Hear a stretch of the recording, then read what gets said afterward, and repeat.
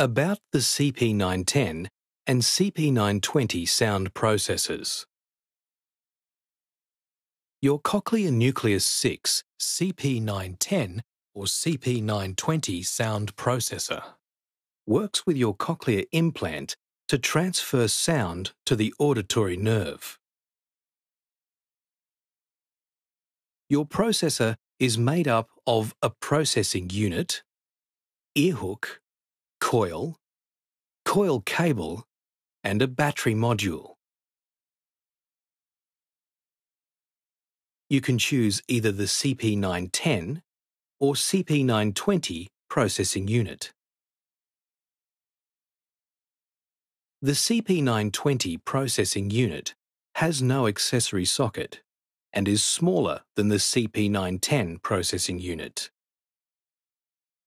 Both sound processors operate in the same way. Except the CP910 sound processor can work with the cochlear nucleus range of accessories. You can control your sound processor as a standalone device by pressing buttons on the processor. You can also choose a Cochlear Nucleus CR210 remote control